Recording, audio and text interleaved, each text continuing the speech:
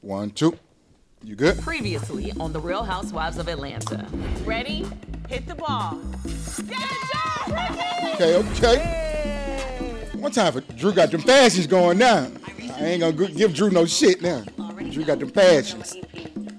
And she can say, hey, I like her song. You already know. You know, it's hard to talk about Ralph and Drew because I've become friends with these guys. Now, Ralph, you my buddy, but now all of a sudden, you know, I, you know what I don't like about black folk? This is my cousin. We just found out this No. right now. We love to be damn kinfolk. She's like my cousin Jones. I was like, stop playing. We love to be cousins and shit.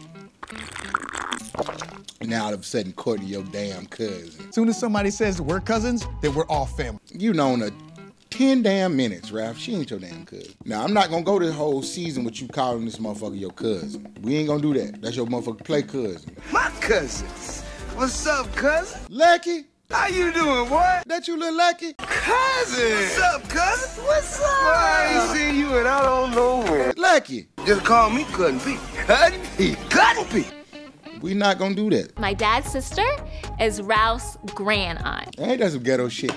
Uh, Ralph's grandmother's grand aunt's niece is my mother's auntie. That make y'all cousin? I was like, stop. But if y'all ain't never seen each other at no Thanksgiving, Christmas, Fourth of July cookout, birthday, graduation, now them all the main thing black folk gonna have. Y'all ain't kinfolk, y'all skin folk. Hello? I hate black folk. Black folk love to adopt somebody that they kinfolk. No, you don't know that lady? Well, speak on it. I'm about to call Drew. Yeah, I'm about to call her right now. Did she pick up the phone?